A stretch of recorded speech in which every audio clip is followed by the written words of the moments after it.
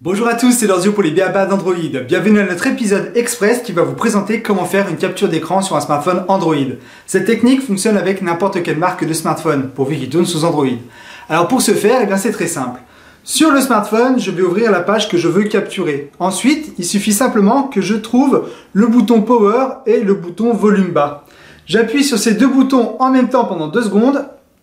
Et là, hop, vous avez eu le son du déclencheur. Ce son-là est éteint si vous avez votre profil audio sur silencieux.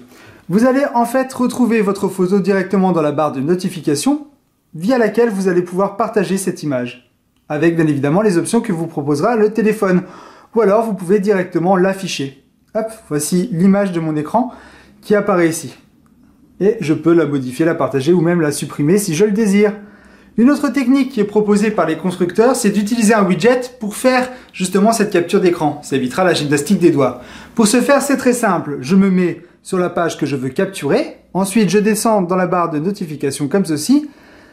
Et je vais aller choisir l'option capture d'écran, qui est ici un petit logo qui s'appelle capture d'écran. Alors certains smartphones proposent screenshot.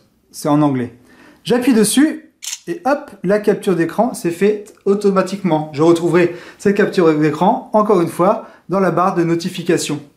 Alors, où sont rangés ces screenshots que vous venez de faire, cette capture d'écran? Eh bien, tout simplement, vous allez ouvrir un gestionnaire de fichiers et ces screenshots se trouvent tout simplement dans la mémoire interne du téléphone et non dans la mémoire de la carte SD.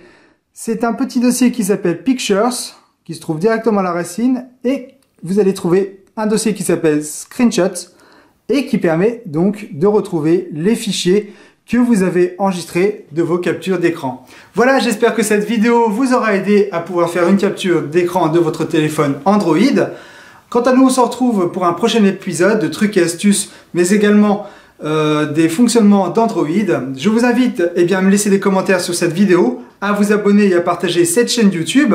C'est 100% gratuit, il suffit simplement de cliquer sur s'abonner en bas de cette vidéo.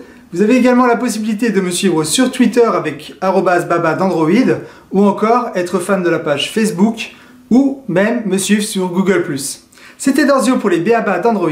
À bientôt pour un nouveau numéro.